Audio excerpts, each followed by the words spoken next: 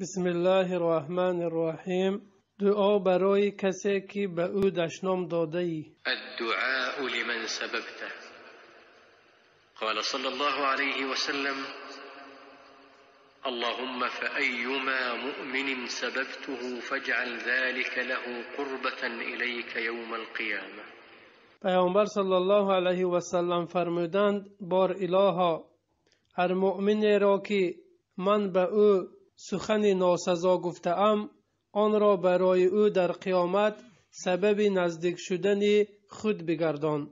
فایده های حدیث. فایده اول حرس پیامبر صلی الله علیه و سلم به اینکه درجه امتش در بهشت هرچی بالاتر برود. فایده دوم انسان مسلمان باید در گفتار و کردار از سنت رسول الله صلی الله که تنها راه نجات در دنیا و آخرت است.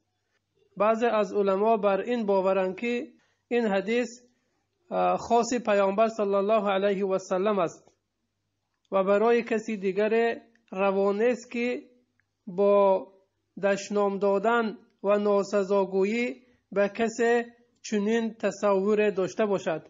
بلکه باید از الله طلب آمرزش نماید و از آن شخص عذر بپرسد.